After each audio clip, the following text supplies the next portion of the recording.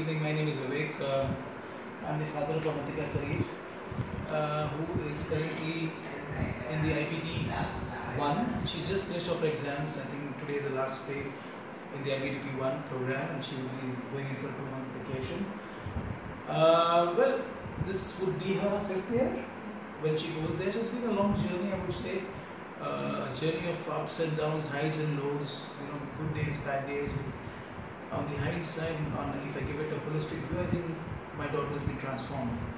Uh, I, I can actually see a 180 degree shift from what she was. The basic intention of putting her into the school, I'm talking of Cathedral Vidya, uh, is to actually make her more bolder, more stronger, more social, increase of focus to, towards academics because pre her eighth grade she was none of them.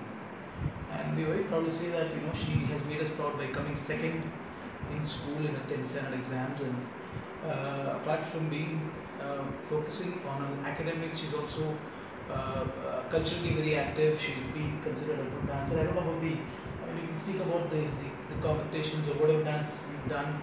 Uh, she is also was was prefect of her school in the ninth grade, and she is currently the house captain.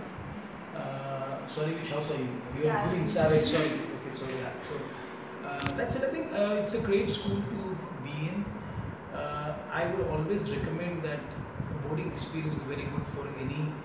Uh, if, if any parent wants to make the child more stronger and open to face the world. Uh, heads up from my side, and I would like to thank all at CVSL to make my daughter whatever she's doing. Uh, one thing is very clear that nothing is perfect. Okay, if you want to look for a perfect school, there's no perfect school. It's only that view. One has to evolve, and I think when I look at the school, what it was maybe five years back and what it is now, it's really come a long way. It's an excellent feedback factor. I would like to congratulate everybody here, the staff, the teachers, everybody for doing a great job, and of course to the students who are living up to the expectations. Thank you so much.